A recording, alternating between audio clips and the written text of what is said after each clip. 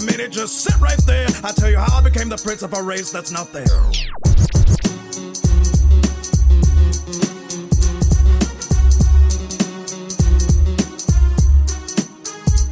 On planet Vegeta, born and raised, fighting Saibamen is where I spent most of my days. Chilling out, blasting, killing all fools. I was shooting some haters outside with the pool when a couple of guys who were green and red started making fun of how my dad was dead. I got in one little fight and scared.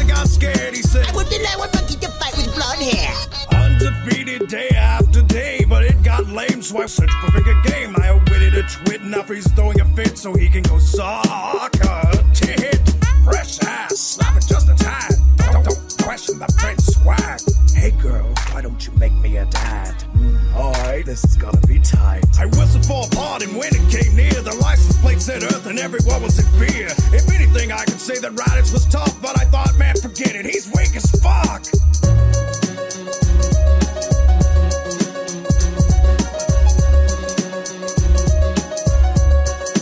I crashed onto the earth around 11:43, and I yelled out to Nappa, "Yo, home, CIE!" Looking for Kakarot, I was finally there.